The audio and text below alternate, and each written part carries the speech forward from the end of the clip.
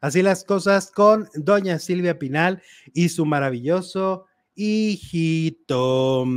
Oye, te cuento, te cuento, te cuento que ayer tuve una plática con, con, un, con una persona que conoce perfectamente a María Raquenel y a Gloria Trevi. ¿Ok?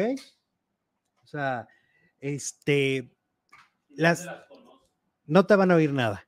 Las conoce. ¿Dónde las conoce? Ah, pues eso es una persona que fue su fan y este y las conoció en la etapa en la que estuvieron en Chihuahua. Aquí cerquita. Exacto, en la cárcel. Eh, ya se supone que fuera del, del clan, ¿no? En ese momento ya las cosas eran distintas, al parecer. Y es que em, él me contactó con él ya he platicado varias veces y, me ha contado algunas cosas, pero ahora estaba viendo el programa donde yo comenté que según la serie de Gloria, eh, María Raquenel, a los ojos de Gloria Trevi, María Raquenel era, una villana, ¿no? O sea, de Tal como lo estamos viendo en la serie. Aprovechada, que la mandaba a dormir al, a la camita, al, catre. o al, este, al, suelo, y ella dormía como, como reina, ¿no? Cuando la famosa, la millonaria tendría que ser Gloria Trevi. Eso lo vimos en la serie también. Ajá, y por eso dijimos que Gloria la pinta como la gran villana, siempre está haciendo jetas, está el personaje de Alicia, ¿no? Siempre está haciendo caras, siempre... que le va bien a la Trevi, ella pone cara de... de Fuchi. Me, lo merezco yo, no esto. Ajá, exacto. Pues esta persona me contó que pues que efectivamente María Raquenel hasta todavía cuando estaban en la cárcel en Chihuahua eh, le tenía mucho coraje a Gloria.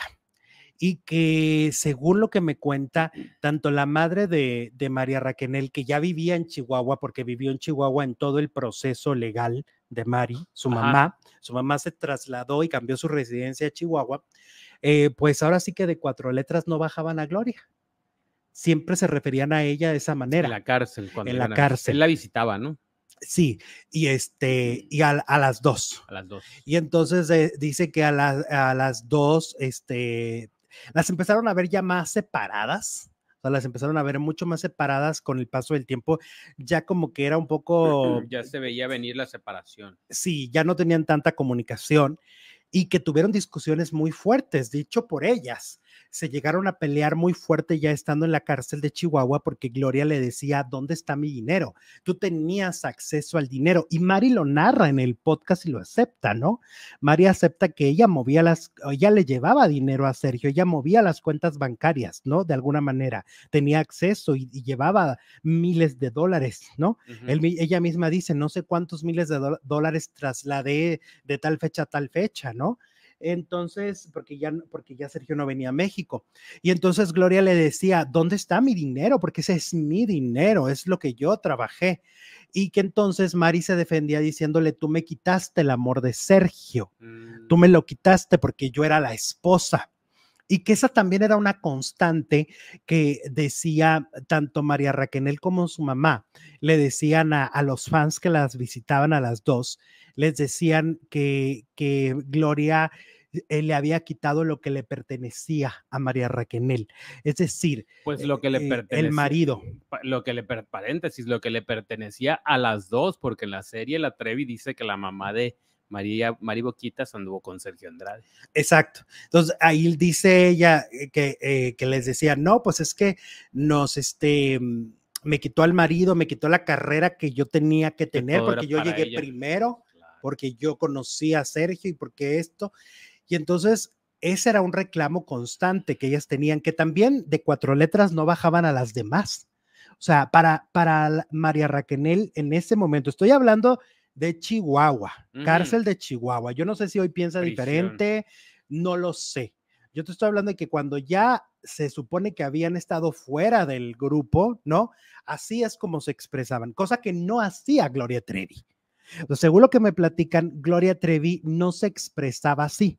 También hay que decirlo porque esto no, esto no tiene ya nada que ver cuando eran víctimas eh, de Sergio, cuando estaban en el núcleo, para que no vayan a venir con la palabrita favorita que tienen para decir, están revictimizando, porque esto ya no tiene que ver. ¿no? Sí. O sea, María Raquenel Ya ya no estaba Sergio, aparentemente. aparentemente me dice que no sabe si en su podcast va a contar María Raquenel, este, pero que en el en, en su estancia ya en Chihuahua seguía teniendo comunicación con Sergio y Sergio le llegó a proponer volverse a casar. Mm, le quería volver a lavar el Ajá, no sabe, obviamente él no sabe si, si en boca cerrada se va a decir esto, O a lo mejor era para que no hablara, ¿no? Para que lo probablemente. siguiera defendiendo. Ajá, este, Porque la Trevi, pues en ese entonces ya andaba con Armando, ¿no? Eso, Armando ya la visitaba en Chihuahua, ya Sergio ya no estaba dentro de la vida de Gloria, ¿no? Y, em, y bueno, me cuenta, fíjate, algo desconocido que no sé si lo va a contar María Raquel, pero se los cuento yo, pues en su estancia en Chihuahua llegó a tener varios romances. Uno de ellos fue con un bailarín, el maestro de baile del Cerezo. ¿ok? Eh, Y que le llegó este a ayudar él económicamente. Y también tuvo un romance, Mari, ya en ese momento, con un, un cirujano que había operado a su mamá, Ok. a, a la mamá de Mari. Había también tenido esa, esa relación con ese, con ese hombre, pero lo que me dicen es que ese hombre era casado. Ah, ok. Ajá, eso es lo que me estaban contando, que tuvo varios romances, ahora sí que dejó algunos corazoncillos ahí en, en. Chihuahua, en Chihuahua. Todo esto, pues son datos desconocidos, porque siento que sabemos mucho de lo que pasó cuando todas estaban, porque ahí todas revelaron cosas, pero ya de la parte donde se quedan ellas en la cárcel, ya sabemos poco. Y, y muchos se preguntan, ¿y cómo se llevaron Mari y Gloria durante esa etapa? Pues ahora se los digo directamente. Durante esa etapa se llevaron mal. Se pelearon a grito y casi a golpes. Y lo que me dicen es que la madre de, mm, de María Raquenel le hizo mucho bullying a Gloria eh, cuando es que los visitaban los domingos. Las visitas, las visitas eran los domingos. Entonces iban muchos fans y familias Ajá. familia cuando llegaban a estar en Chihuahua.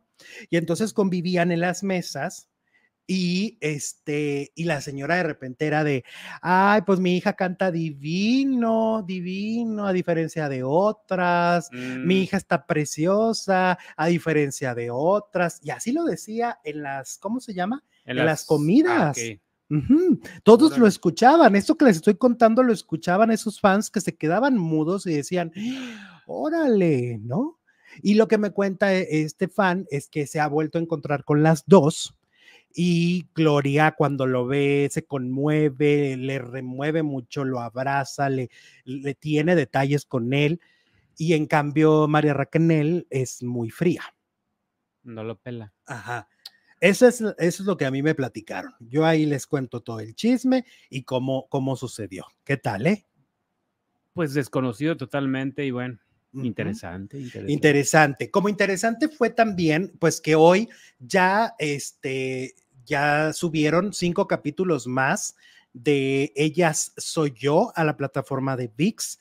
El último capítulo que se ve es ¿Ya el, cap- es el capítulo 35 de Ana Dalai, así se llama el capítulo. El capítulo se llama Ana Dalai y tú puedes ir viendo ahí cómo Gloria no tuvo eh, pues los cuidados, o sea, a diferencia de las otras le fue mejor, pero aún así eh, su embarazo y su parto pues no es el que una estrella de ese tamaño merecía.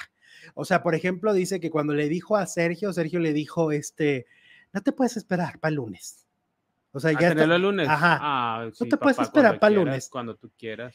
Total que pues obviamente lo- la tuvo a Ana Dalai y dice que, que tenía mucho frío en el hospital, o sea, era un hospital público, era un hospital para personas de bajos recursos, entonces no tenía las condiciones, eh, llegó a tener mucho frío, dice que pues había una, una de las chicas la cuidaba, por lo que entiendo podría ser Marlene Calderón, este, la cuidaba para, para lo que se le ofreciera y, y lo que le daban en el hospital de comer, ella eh, lo partía en dos, o sea, le daba la mitad a la chica A Marlene. Ajá. Y la otra mitad porque la chica tenía hambre y ella sabía. Dice, "Te- siempre yo sabía que todas teníamos hambre todo el tiempo, ¿no? Todo el tiempo estaban hambreadas. Entonces le, le compartió.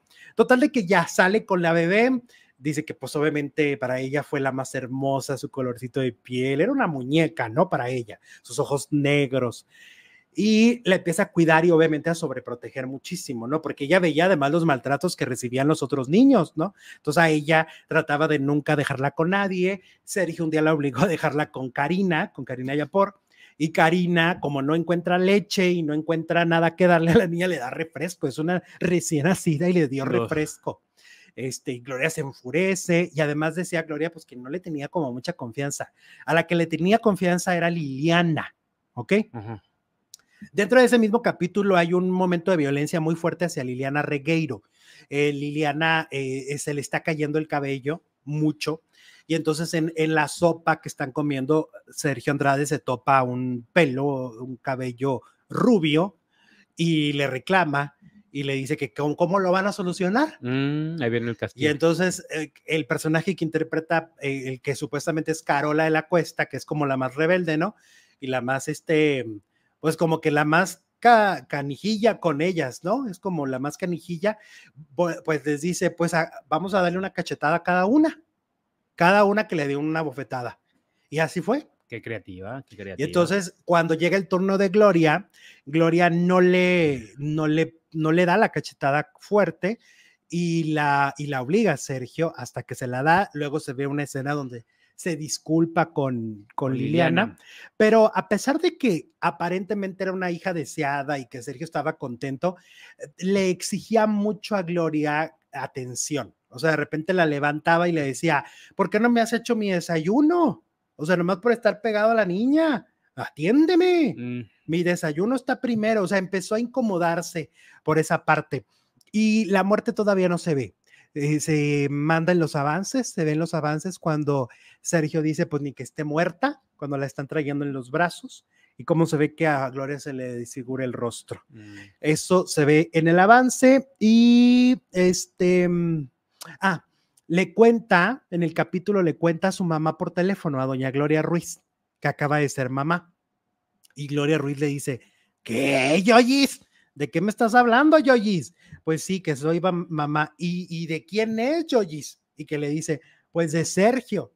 ¿Cómo? ¿Cómo de Sergio? Pero en qué momento, ¿no? Porque era un tema que ella desconocía. Pues total, que le, le dice, a ver, y ustedes conocen, obviamente le cambian el nombre, aquí se llama Heidi, ustedes conocen a una tal Heidi, está contigo, sus papás salen todo el tiempo en la televisión diciendo que la tienen secuestrada. Mm.